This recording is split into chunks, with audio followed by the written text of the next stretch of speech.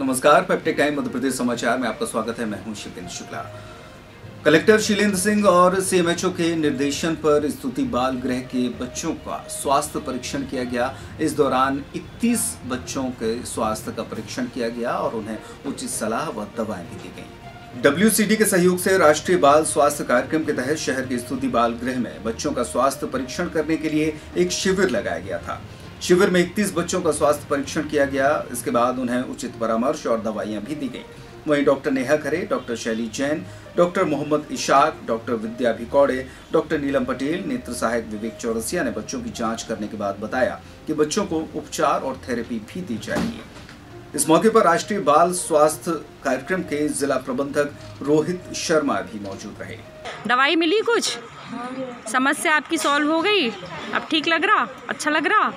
चलो very good very good नाम बताओ जल्दी से। कृष्णा। कृष्णा। कृष्णा को बहुत कमज़ोरी थी ना? हाँ। दिखा लिया आपने अच्छे से? हाँ। और दवाई मिल गई आपको? हाँ। देख लिया सबने? हाँ। और कोई दिक्कत?